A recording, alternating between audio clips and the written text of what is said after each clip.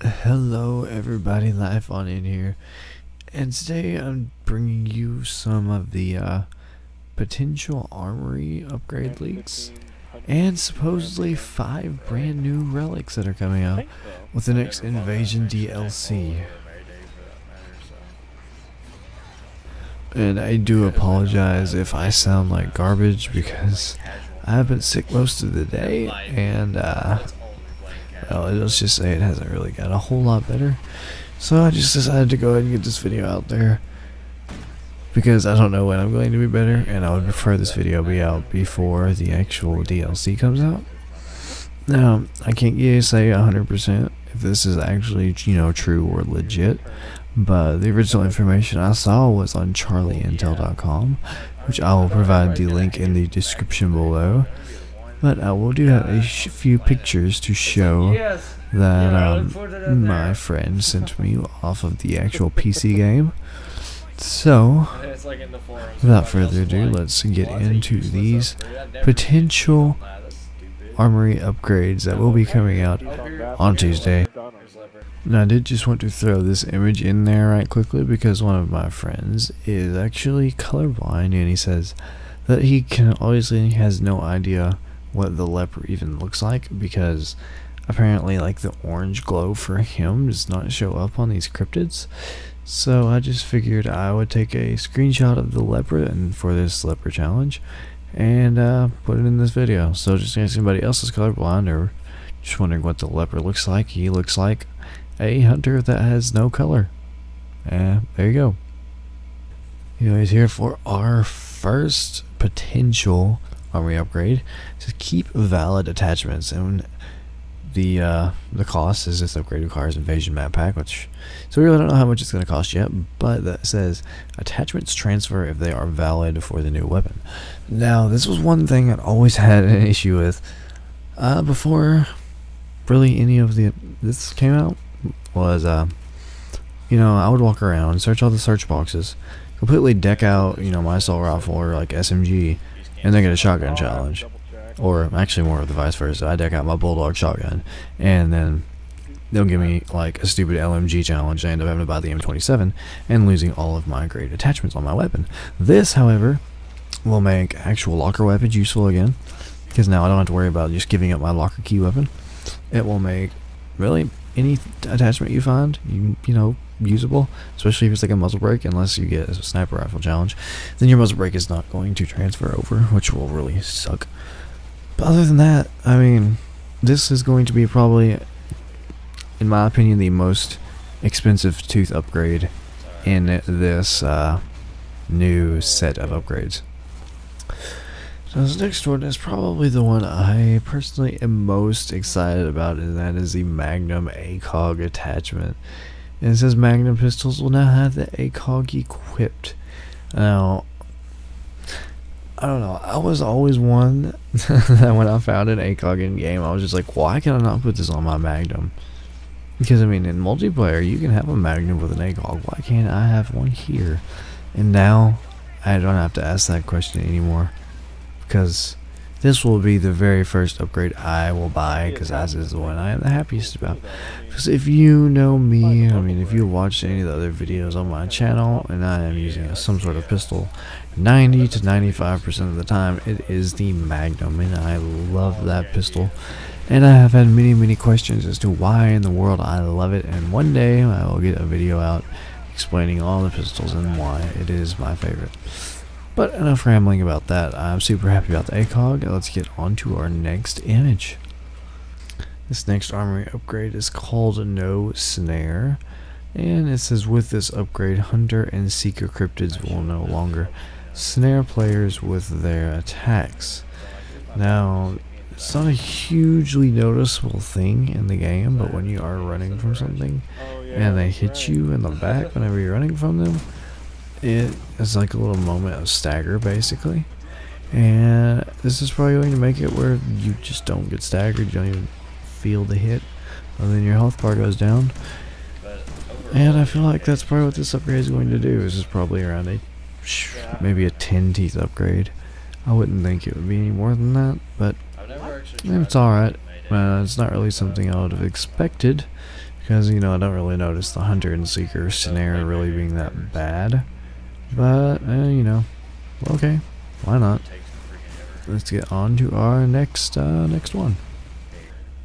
And this one is called IMS Flaming Pools. since it's when equipped. The IMS explosions will leave lingering fire pools.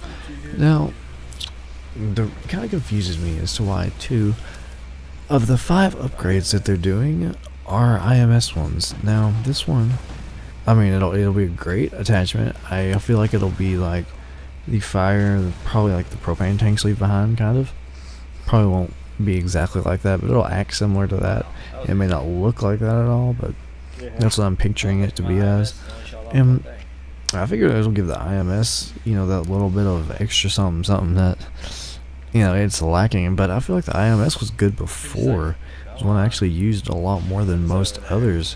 But this will actually work well as long as the IMS, along with the IMS fast trigger, um, which I'll get to here in a second. But this will work well with the little IMS glitch that, or technique as I call it, where you can uh, pick up and drop your IMS over and then pick it up and drop it and pick it up and drop it, and pretty much rapid fire your uh, your IMS, and it's really fun to do whenever you're kind of running away from something or walking away with a riot shield on your back, whichever you prefer. This will basically make your IMS just that much better. And for the last one, or the fifth one, it is the IMS fast trigger. When that shortens the time it takes the IMS to detect nearby enemies. So basically it's going to make your IMS shoot even faster now. Even as one of the points that you put into your IMS, it makes it trigger faster, so I'm guessing this will just stack with that. It'll trigger even faster than that already does. So this is once again just another one of those little things to, well, make your IMS probably that much better. I'm gonna go out on a limb and say the IMS fast trigger would probably take maybe uh, five or ten teeth. I would prefer it to be five, but probably be ten among them. I bet the IMS flaming pools will probably be 20. And yeah, most likely, because the flaming riot shield, I mean, that was 20. I'd say it's probably about the equivalent of that. Now, the Magnum ACOG I bet will be 5 because most people hate the Magnum for some odd reason. Yet I love it. And like I said on the first one, the uh, actual um, multiple attachment, the one that will allow you to put your attachments uh, carry over to different guns, I have the feeling that's probably be like, you know, 30 teeth, 40 teeth, somewhere in there. It's not going to be cheap. It's going to be the most expensive upgrade of all these. At least I feel like it should be. Anyways, now that's our, you know, five basic new upgrades. Now there's five new relics being added that we are going to go over now. This first one is called Earn Your Keep and it is no ammo type or team support items available and no scavenging, crafting, or pick up items from deployed boxes. So basically you cannot scavenge anything, you cannot choose an ammo type, all you can throw out is normal ammo, and you have no team support items available. Now if you're the type of person that never really levels up to team support, and never really throws out ammo, then this is going to be an extremely easy relic for you to run because, well, you don't have to upgrade either of those. And of course, me being the kind of person I am, I don't often scavenge because, well, I used to lose my attachment. Some of my scavenge worn out. But if you don't like to scavenge and you don't really care about ammo types or team support, you're just like, hey, I have three other people on the team to do this, so screw them, I'm not going to do it. Then this is your relic to run. And our next relic is called Limited Ammo and ammo refills weapon pickups will give you less ammo. So basically any kind of thing that gives you any sort of ammo you get less ammo out of. It'll probably half ammo or 75% ammo or somewhere in there. Uh, whenever it actually comes out I will release a, a video um, going over it you know just getting all the exact data and percentages but this is a good one if you run equalizers turrets um, MK32 etc etc and you don't really use a lot of weapons, or if you get Ranger pistols where you can carry two primary weapons, because then you have two weapons that will, you know, get your ammo put into, so you really don't need as much ammo. So really, this is another pretty easy relic to run, I feel like. Anyways, let's get on to the third one. This one is called No Machines, and you cannot have any equalizers or strike packages. Now, this one is this one's painful because for me, I love things like my IMS, my Vulture, my Trinity rocket. I love my War Machine or MK32, whatever you want to call it. And I love my Death Machine. I love all of those things. So this one for me, it's gonna be a little bit harder for me to run. I mean, I can do it, but I really love using those kind of things. And you know, people that are running the grenade turret, they love it so so much. Like a lot of people, I mean, they're just kind of insane about the grenade turret, but they will not be running this one. I can guarantee you. This next one is called Stand Your Ground, You Move Slower, and there is no reloading while sprinting. This would be painful for me because I love, I've gotten to where I'm so used to reloading and sprinting at the same time that it's really hard for me to not do anymore. Plus, moving slower is just, I mean, one of the main reasons I run medic a lot is because I move quicker and that makes me happy. Moving slower would just I, I feel like I would need to run the tank class with this just to uh, make me feel like a big, you know, beefy tank, even though it really wouldn't be that. But, you know, that's what I would like to uh, think of myself as if I do that. Anyway, moving on.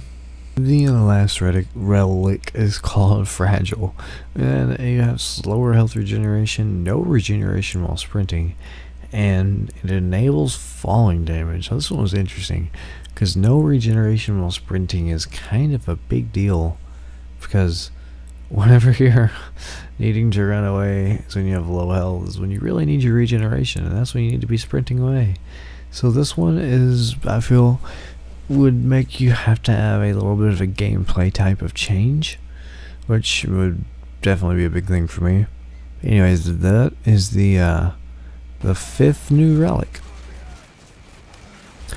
Anyway guys, thank you very very much for watching. I'm sorry I did not get this out sooner. I was hoping I would sound a little bit less sick, but um, you know, I eventually was just like, screw it. I'm just gonna get this out there as soon as I can because, you know, I just I wanted you guys to have the information as soon as possible. And uh, thank you very much for tolerating my sick voice for this entire video. I do apologize. Uh, I want to give a shout out to Rogue Leader again for getting me these images as I was sleeping most of this day and yeah, just really sick. As you can see the 509 kills there, I kinda was mean and spammed the MK because that thing is really overpowered. I'll have a video about that coming out within the next couple days. Anyways, I hope you enjoyed the content. If you did, feel free to check out some other videos. I do love doing analysis type things. Uh, especially with Extinction, I'll probably do future co-op modes that come out, of course, but right now Extinction is the main thing.